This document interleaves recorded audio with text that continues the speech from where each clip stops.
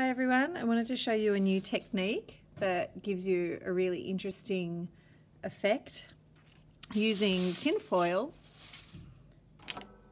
washable markers, these are the washable ones, a spray bottle and some plain white paper.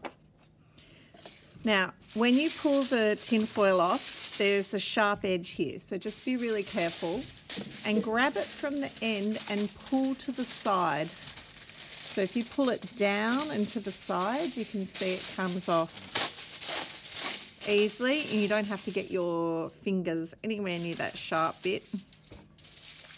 Okay. Now I might be able to share this with someone so I can easily tear it in half.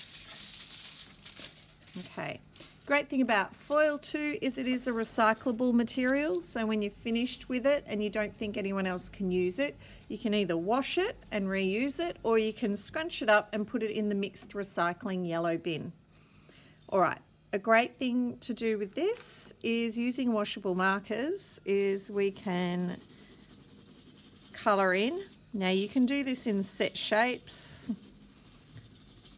or you can just put random sort of abstract colour around.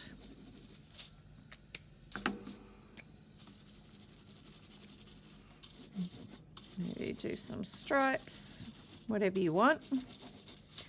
Okay, and because the foil doesn't absorb the texta like paper does, it will sit on top of the surface and if we wet it a little bit with a spray bottle, just water in there and then put a piece of paper over the top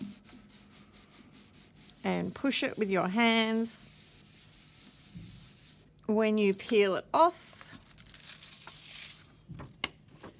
the texta will give this sort of watercolor effect which looks pretty cool. This is one I did before. I put a bit more orange. So it's another way to get that speckly watercolor effect that you might want to play around with today. Have fun!